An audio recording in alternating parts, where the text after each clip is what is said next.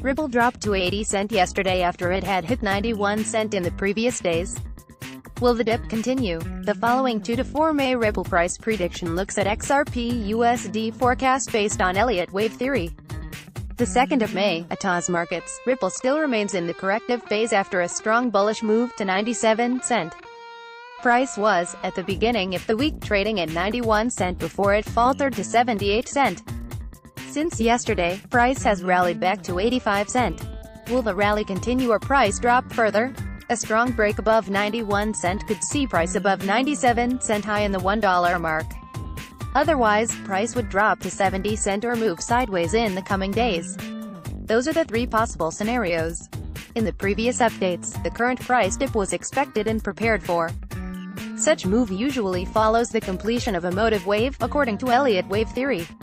The chart below was used in the last update.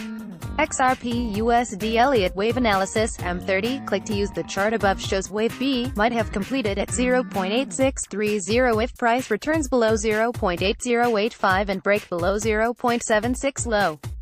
If this happens, the next target is 0.65 to 0.7 price zone. However, if price breaks above 0.863 slightly, the wave count is still valid. A break above 0.9365 would mean that the bullish run has resumed otherwise, a dip below 0.7 is much likely to complete a three-wave bearish correction. Wave B took a new high at 0.9136 before dropping slightly below 0.8085. Price has slightly resumed upside but the bearish view is still intact. Price will have to break above wave B high to resume the bullish commitment. The chart below shows what we have now. 2 to 4 May Ripple price prediction. What next? XRP USD Elliott wave analysis M30 click to zoom. The bearish correction is expected to continue to 0.6670 the base of the channel. If current price action breaks above the channel and 0.9136, price should rally above $1.